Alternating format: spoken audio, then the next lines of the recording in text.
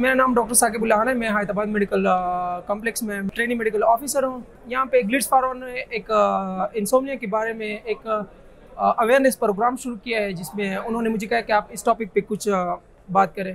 तो normally insomnia उसको कहते हैं जब बंदे को नींद नहीं आती। मीन्स के बंदे को सादा अल्फाजों में नींद नहीं आती। तो जब बंदे को छः घंटों से कम नींद आती है ना तो उसको हम इंसोमिया में कंसीडर करते हैं।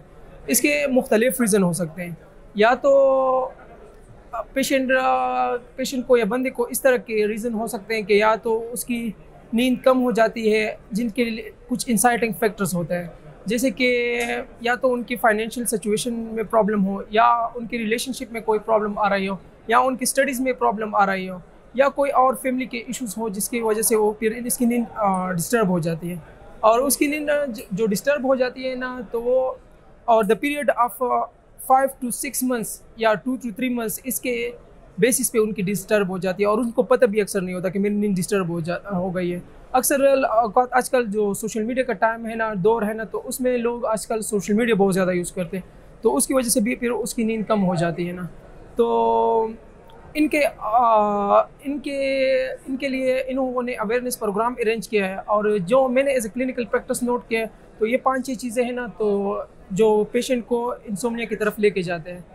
तो इनको टेक ओवर करना होगा। इनके टेक ओवर करने के लिए मुख्तलिफ़ प्रोसेस है जिससे बंदे को गुजरना पड़ता है।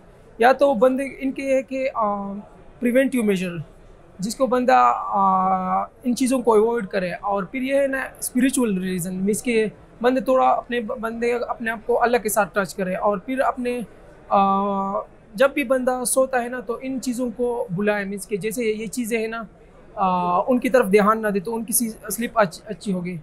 अक्सर फिर आखिर में हम चले जाते हैं ना फार्माकोलॉजिकल रीज़न की तरफ़।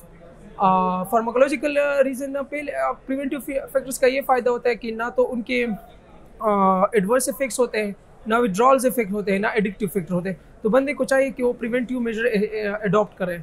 मीन्स कि इन चीज़ों को अवॉइड करें जो इन चीज़ों को इंसोमनिया की तरफ़ लेके जाते हैं। तो लास्ट में आ जाते हैं फार्माकोलॉजिकल ट्रीटमेंट और इसमें फार्माकोलॉजिकल ट्रीटमेंट में इन्होंने एक प्रोडक्ट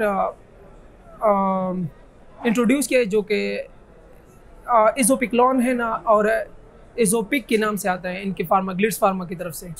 तो अगर आपको नींद नहीं आ रहा है और छः सात महीनों से नहीं आ रहे तो आप करें, आपको ये यूज़ कर ले और फिर इनशाला आपको, आपका सर्किडियम रिदन है ना, वो नॉर्मल की तरफ़ आ जाए तो मैं तो उनका मशहूरों के मशहूरों के इन्होंने मुझे टाइम दिया इस टॉपिक पे बेस करने का